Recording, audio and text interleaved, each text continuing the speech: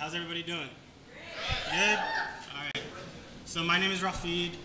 Um, I will be playing two songs for you guys today. Uh, small pieces.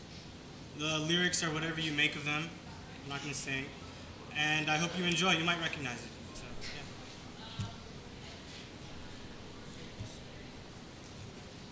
So, yeah.